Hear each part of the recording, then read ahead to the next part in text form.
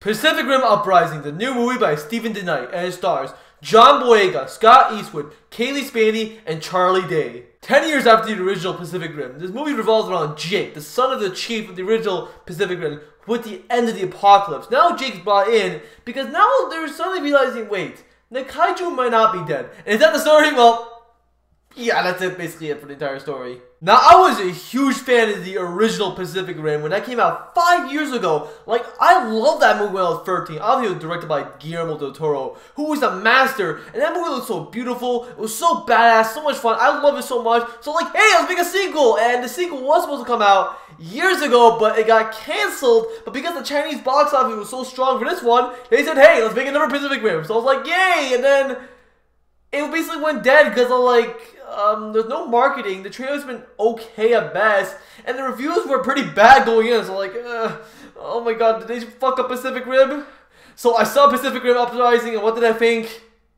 Yeah, this movie's pretty bad. But what was good about this movie? First of all, I gotta talk about the performances. And first of all, John Boyega, he is so much fun in this, in this, movie. Like, I love him so much. And here, he brings a lot of charisma and energy to his role. You can tell he's having so much fun. So he's one of the best parts, if not the best part of the movie. Scott Eastwood is good. He's not great but he has a very serviceable performance. He has a lot of charisma and works well with John Boyega and the cast. And Cailee Spaeny, I've never seen her in anything, and here she's pretty good. Like I really liked her, and she and she is decent in this movie, and I can see a future for her as an actress. And overall, I think the performances are fine.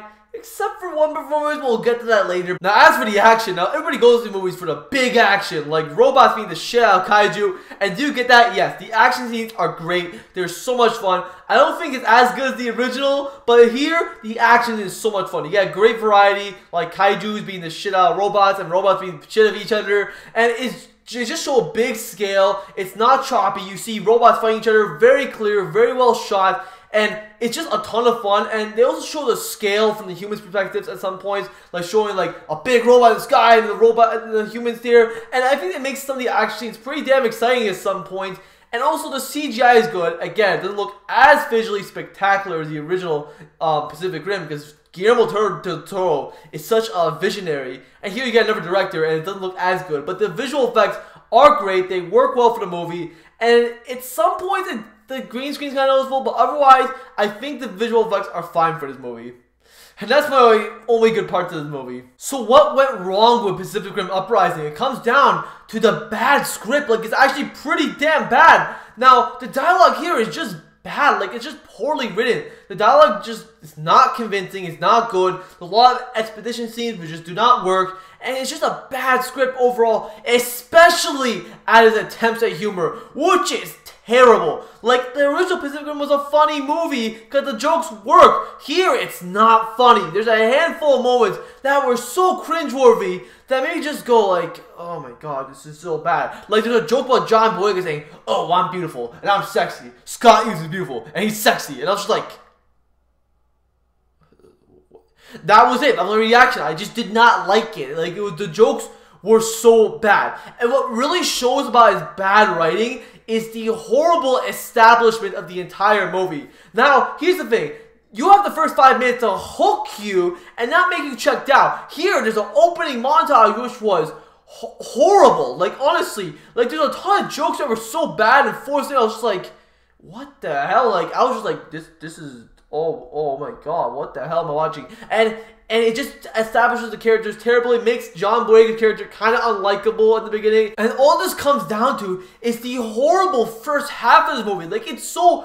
It's actually boring. The story doesn't really kick in, in the first half. It actually kicks in the second half when the inciting incident actually happens. So once the second half comes in, it actually becomes stupid fun. And that's what I want from a Pacific Rim movie. But the first half is bad. It just wastes time establishing characters in such a bad way, and the story doesn't kick in. So I was like, just checking my watch, I'm like, this is bad. Like the first half was pretty damn bad. Now as for the characters, they just they do not work for this movie. Like, there's not much backstory. They try to give John Boyega and Cailee Spaeny, these characters, a backstory, but it just takes a backseat to the story, which just does not work for this movie. Also, what the hell did they do to Charlie Day? Like, he was actually funny in the original Pacific Rim because he was in the backseat of the movie and stole the movie at the right moments while the main actor took to the front seat. Here, he's in the movie a lot more and he just does not work for his movie. And obviously because the jokes suck, his jokes suck and it's just he's just wasting him. And there's something that happens with his character that I'm not gonna spoil because I don't spoil anything in my reviews.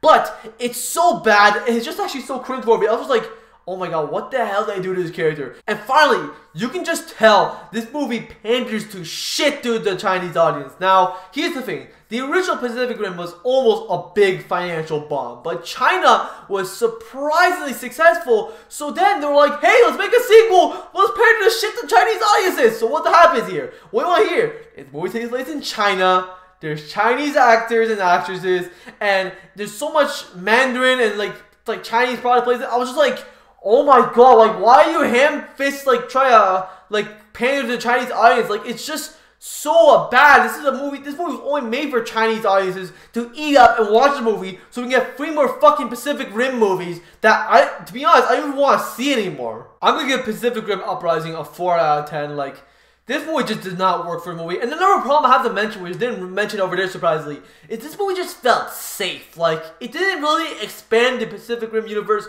that much. It only just, like, just felt safe. It felt like more of the original, which is extremely disappointing. Like, I wanted to like this movie because I was such a big fan of the original. Unfortunately, I just felt that you can really tell that Guillermo del Toro was not there. Because if he made his sequel, it would have been a way better movie. Now, obviously, I'm glad he went to go on and make a Shape of Water. But still, like, Guillermo was such a great part of the original. And you can see that it's missing for this movie. Now, if they do make a third one, I'm probably going to go see it. But to be honest, this movie put a really big sour taste in my mouth. Alright guys, thank you guys for watching this video. If you guys enjoyed this video, please give me a like favorite, and subscribe. Click on the notification bell for alerts from brand new videos. And comment below, tell me what you guys thought of the video so you guys encourage me to make way more views in the future. Anyways guys, I'll see you in the next video.